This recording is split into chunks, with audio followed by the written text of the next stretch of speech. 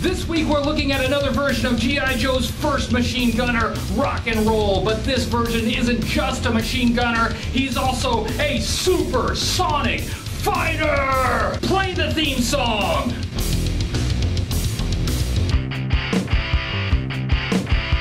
Hooded Cobra Commander 788 here.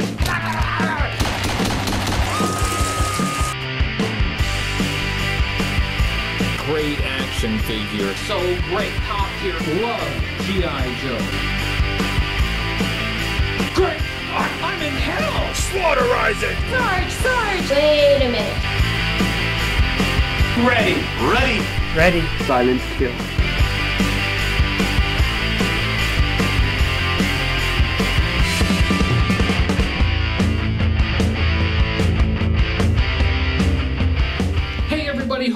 Commander 788 here, and thank you to Max Rebo's Ghost Music. The figure for this review came from that sweet box of 90s figures that he sent to me. I have two important things to say before we get started. First, Timmer from Half the Battle has launched a charity appeal. If you donate to a charity that benefits children, you will have a chance to win a rare Tiger Force Psych Out figure. In addition to that, I am sweetening the pot. Whoever wins Timmer's drawing will also get a complete 1985 Cobra Eels action figure from me. That's the figure and all of the accessories, including that hard to find air hose. Check out Timmer's video for details. Let's show how generous the G.I. Joe community can be. Second announcement I will be taking next week off. I need a little break, but after that I will be returning with a theme month in October. What will the theme month be? Stick around to find out. I'm a big fan of the original 13 G.I. Joe figures from 1982, and I enjoy seeing them return to the line in later versions, as long as those versions are done well.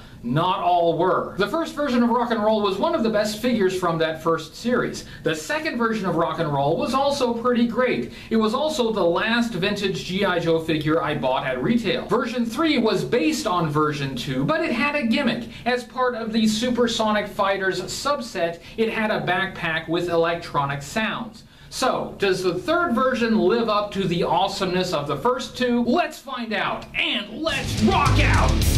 HCC 788 presents Rock and Roll!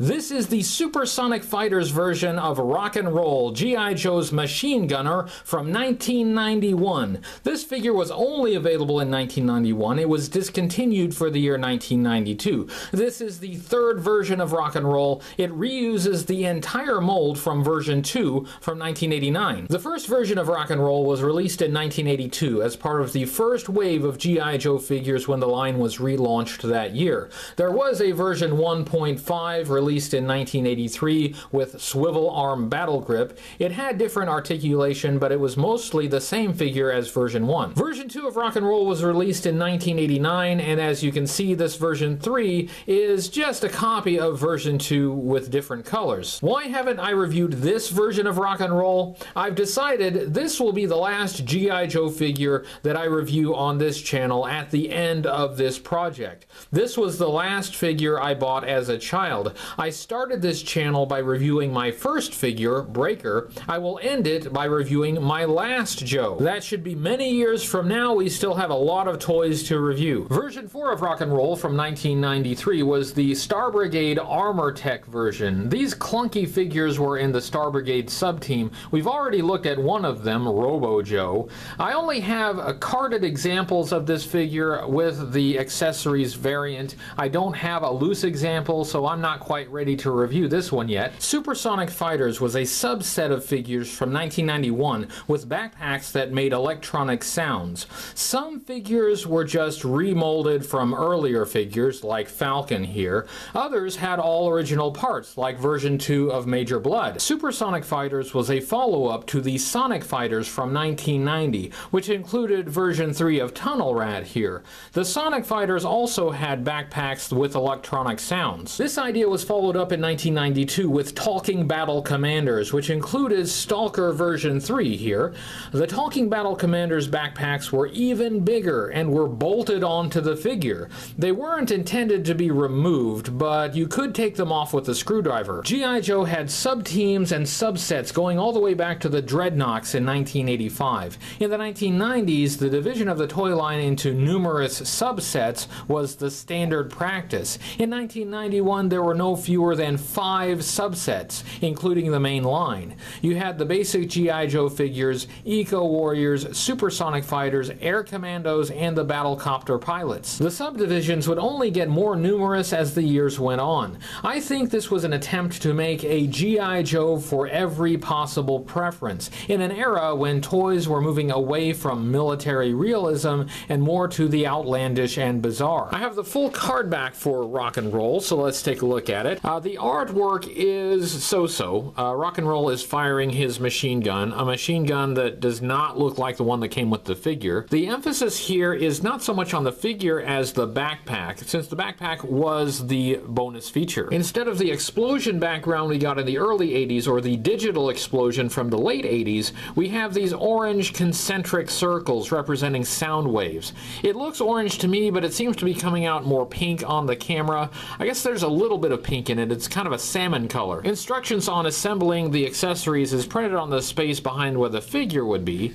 Instructions on replacing the batteries in the backpack is printed on the space here behind where the backpack would have been on the card. And this does work. I did replace the batteries in this thing. Overall, the front of the card is ugly and hard to look at. The actual artwork doesn't really take up very much of the card. The rest of the card is taken up with a lot of clutter, lots of little captions and logos everywhere, an advertisement sticker, just way too much. It's very busy, too much going on on this. Looking at the back of the card, it has the 1990 Sonic Fighters in the same partition on the cross sell as the 1991 Supersonic Fighters.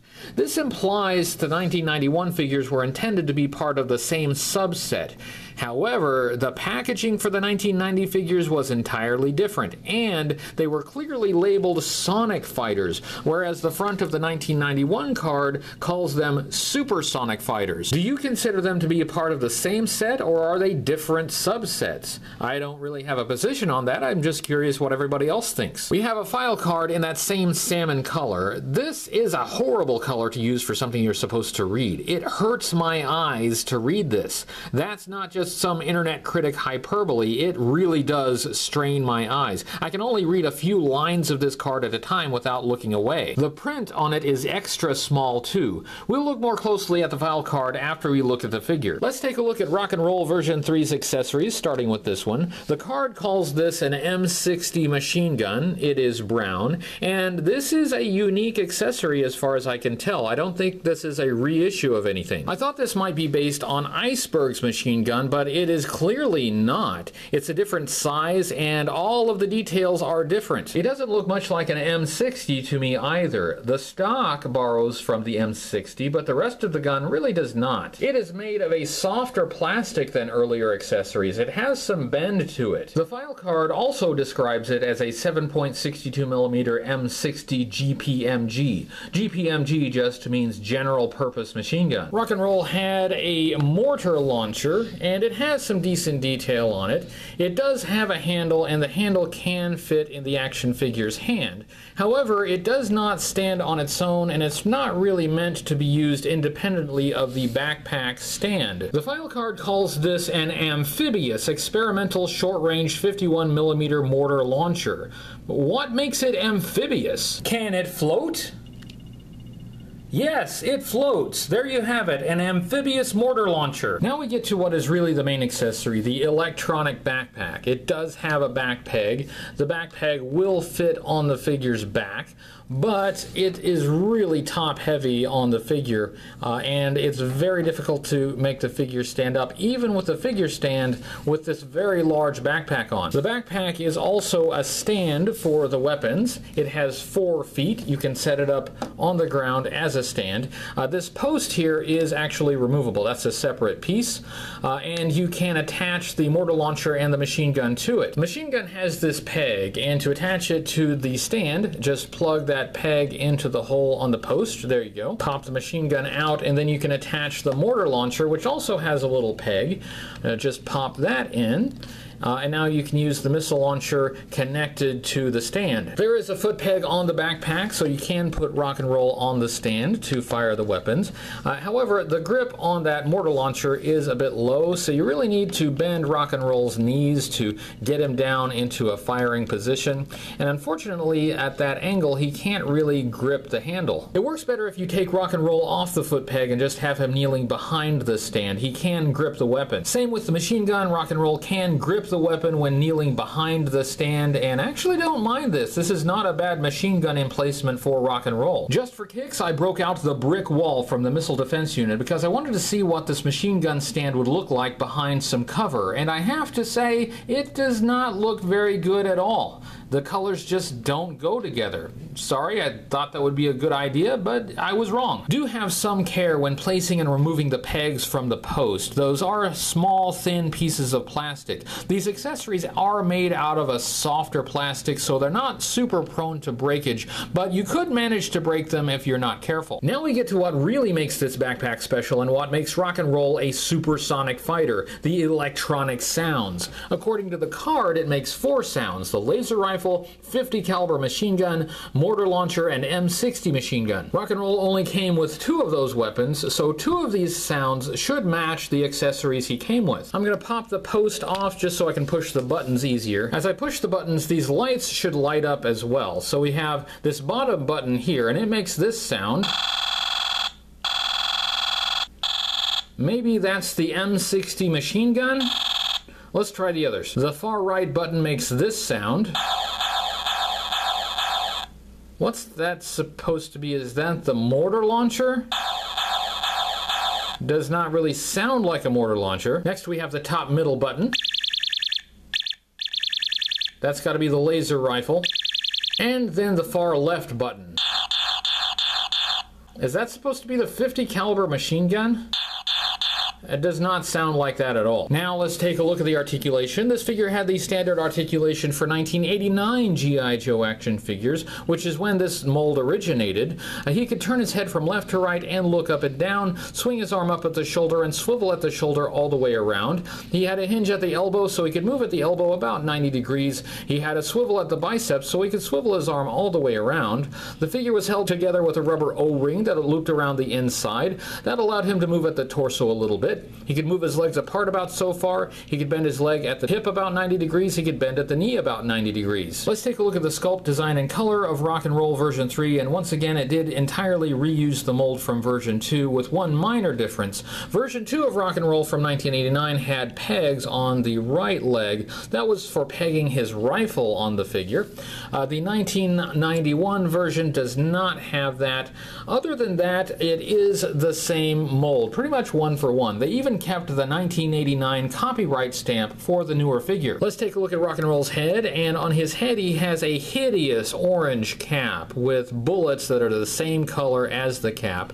Now, to be fair, the bullets on the cap for version 2 are also unpainted. They're just the same color as the cap. But it's more obvious on this one. This cap is suitable for hunting, but not for combat. He has a yellow beard. It is a slightly brighter yellow color than version version 2. The blonde beard is rock and roll's defining characteristic, going all the way back to version 1. He has to be blonde and he has to have the beard. That's how we know this is rock and roll. I should add the card art gives him a red beard. That's just weird. On his chest he has a green shirt, not a terrible color of green with a collar. Then he has bright orange straps, orange to match the color of the cap.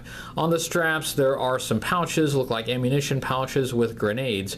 These pouches and straps are not bad and would be a nice realistic touch in a different color. On his arms he has a muscular build and green sleeves rolled up and he has brown gloves and those brown gloves closely match the color of the accessories. His waist piece is brown with crisscrossed belts on the front and the back with pouches.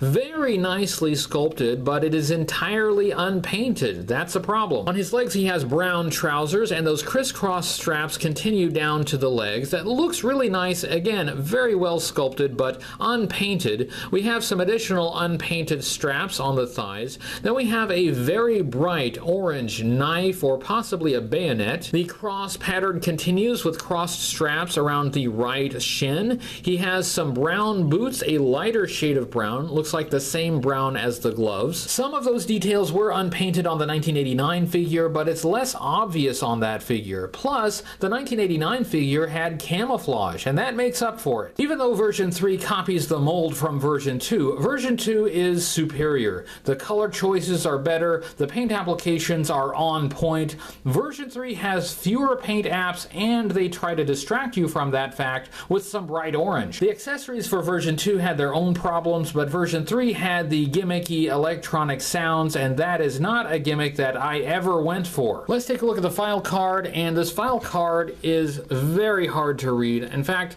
I'm not even sure you can read this. On my screen, it is totally washing out.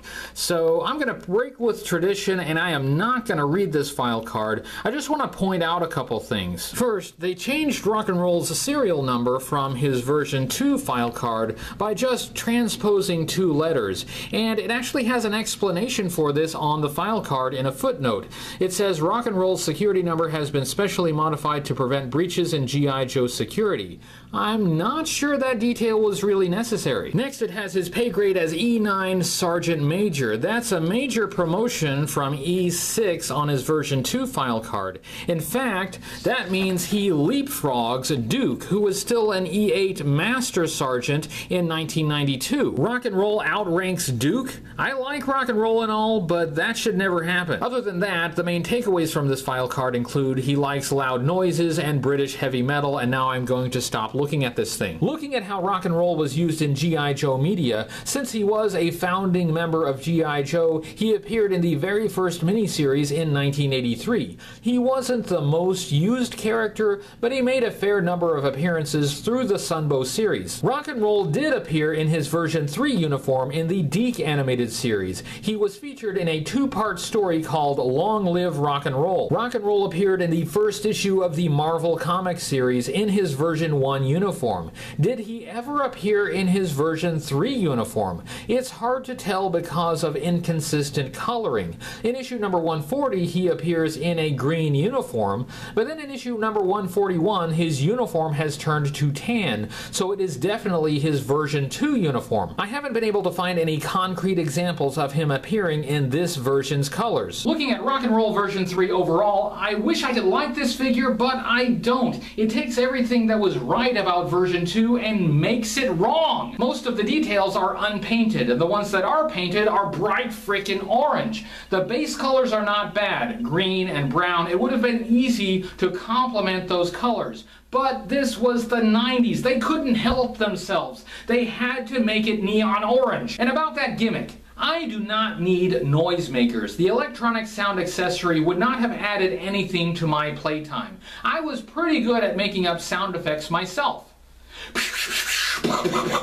See? As a kid, I was like a junior beatbox with all the gun and explosion sounds. Plus, the sounds the backpack makes don't fit the weapons all that well. I can't accept rock and roll outranking Duke. I'm writing that off as a typo. This is a bottom tier figure, but I don't hate it. It still has that excellent sculpt from version 2. Plus, I like the character of rock and roll. And that's it. That's my review of rock and roll. It's time for me to start my little mini vacation. Please give this video a thumbs up on YouTube and subscribe to the YouTube channel so you don't miss anything. And please share this video to help this channel grow. Check out hcc788.com, like me on Facebook, follow me on Twitter, and your support on Patreon helps me keep this show going. If you have the means, please donate to a children's charity and enter Timmer's drawing. You'll have a chance to win my Cobra Eels action figure as well. I won't have a new review next week, but October will be a theme month. And since October is the month of Halloween, I've decided to do something spooky. I have decided to take a tour through one of the dark corridors of vintage G.I. Joe. It is truly terrifying. Are you prepared for the shock and terror? This week I reviewed a 90s figure. Next week we will be getting away from the 90s and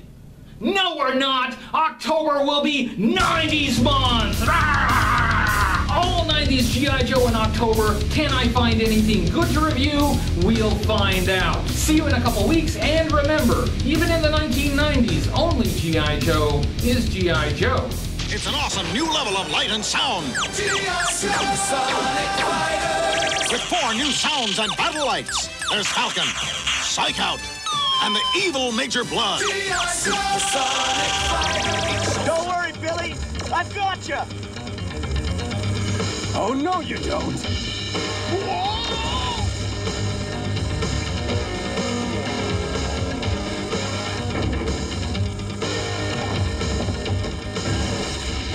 I lost Billy. Would have been all over for me if. And it still will be if I ever catch you near Billy again.